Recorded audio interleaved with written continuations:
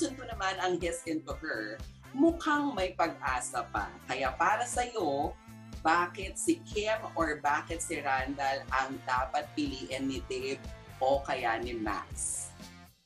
Go. Um, dapat uh, piliin ni Max si Randall dahil uh, deserve niya ng ano, ng second chance. Minahal naman niya ng totoo at buo eh. Talaga may pinagdaanan lang yung tao. Sana ano, hindi niya lang patawarin bigyan niya pa ng sa pang pagkakataon. Talia. ako naman po. Ako naman po, Ma'am J. Um, Ang sala kay Dali reason... ng Mami J ng Mami J. May accent, no? May accent. so, in my opinion po, I uh, does kind of deserve a second chance. She did come back to the Philippines again to, and she went through a lot to, to just even be friends with Dave. She wasn't expecting anything more na when she arrived and when she saw and met Max. She didn't expect na like um, that Dave would get back with Kim as uh, her boyfriend. Just she just really wanted to parang have a connection pa rin. So if that's the case, if that's the case, I deserve she. I I believe she deserves a second chance.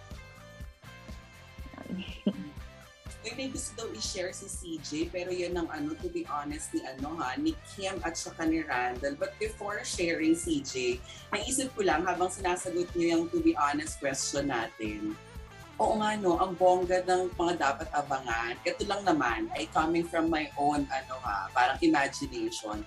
'Di ba sa tunay na buhay kapag hindi ka pinili at saka kapag ka nasaktan ka kasi iba yung mas mahal na ng taong mahal mo, ano yung gagawin kaya ni Randall at saka ni Kim. Kasi hindi natin na napanood yun. Kasi di ba nagtapos na parang na, nasa ano, happy-happy sila, nasa party sila, ganyan. Pero ano kaya nangyari ng bonggang-bongga after that? Di ba? Nagmukmuk kaya si Kim, si Randa, di ba? Ay, sakit. CJ, ano yun? Ayun. Ah, Mama Jai, yung si-share ko sana, dapat di ko nasasabihin kasi na, na ano ko sa uh, character ni nung sinabi ni Dalia to, to be honest na, natakot tuloy ako. Kasi bitter ako sa ano, hate ko silang dalawa dito sa movie na to kasi Ay, grabe. kinikilig Ah, ako kaya kay, pala. kay Dave at Kaya pala. kay Dave at Moss. Tuwing dumadating si RJ, nainis ako, sabi ko, ba't lagi ito nandito? Ni- Iniwan mo na nga, tapos babalik-balik ka pa. Nandito na si Kuya Donnie. Kuya! Wala lang, check ko lang. Naiinis lang ako. Pero, Talagang ano siya, hook na hook, di ba? Oo, Kapit eh. Nakikinig na kapit. talaga ako. Tsaka, Pag nainis ka, it means na Maya is a good actor. Oh, grabe. Effective. Sobrang, kayong dalawa, grabe. Tapos Correct. nung dumating si Dahlia, yung pabong, ano yun, yung sa Benison na school nila, Yung- campus, Yung entrance? uh, yung entrance, natakot ako. Ah. Oh, kasi parang, di ba, makipagbugbog Grabe siya talaga. doon. Lakas kaya ni Dahlia doon. Ang lakas ng niya. arrive niya, di ba? Yung talagang, Oo. talagang ganyan. Mapapa-second look ka eh. Pag Hmm, Di ko nakilala si Dahlia, grabe. Saka hindi ka lalaban, di ba? Kung ikaw parang, ikaw na lang girl, di ba? Parang gano'n, hindi ka lalaban. Ikaw na lang girl, di ba? Gano'n. Chika.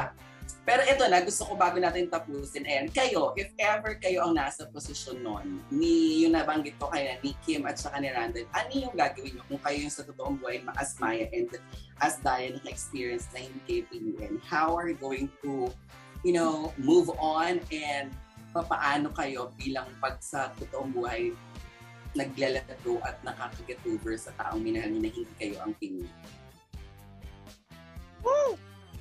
Mama Jay, mas masakit yung pinagdaanan ni Randall eh. Kasi una, natalo siya dun sa champion, championship game.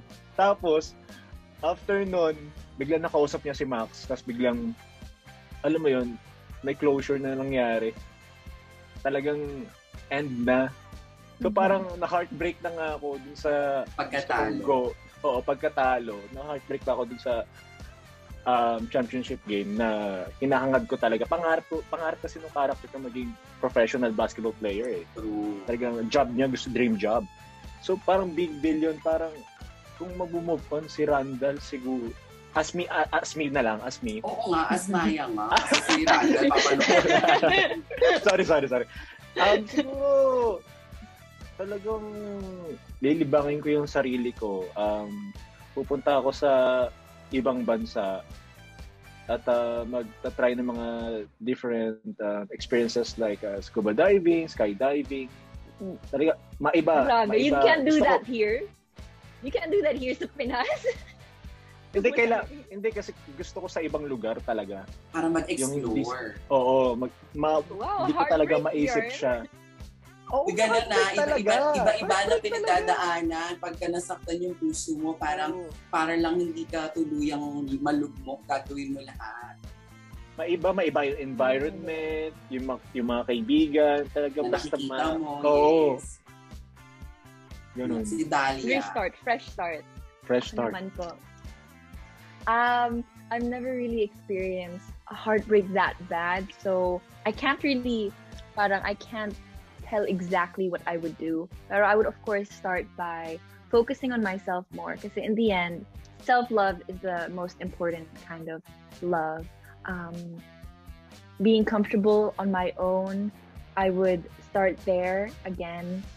Square one, I would focus on myself talaga. Tapos, um, yun, it takes time. I feel like time heals everything. So just taking things slow, not rushing into healing agad-agad. And um, if it's, if true love will just find you talaga. It, you don't have to search for it. You don't have to chase for it. It'll come to you lang. True. Diba? In fairness, ang ganda ng mga sagutan. Palakpakan naman natin silang lahat. Diba? Perfect yun, mga kapamilya. I'm sure marami rin mga nakarelate sa mga topic na ating tinalakay sa episode na ito. This is one thing I really love about uh, our show. Diba? Parang mag-start tayo ng super duper happy-happy. Ang saya-saya ng kulitan. Tapos meron tayong maiuuwing lesson. May pulot tayong makukuha sa mga paborito nating mga artista na napapanood natin na feeling natin, ay, ganun din pala sila, kagaya natin, nakaka-relate ako sa kanila. Oh, ang happy nun. Salamat, Talia, Maya, for sharing. And of course, CJ, thank you din for sharing yung mga ganyang klase ng experiences. Pero syempre, Yung karma, day, karma.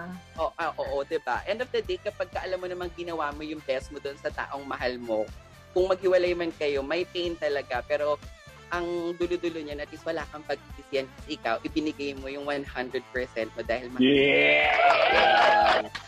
Ganda Yan mo. ang best answer. Yan.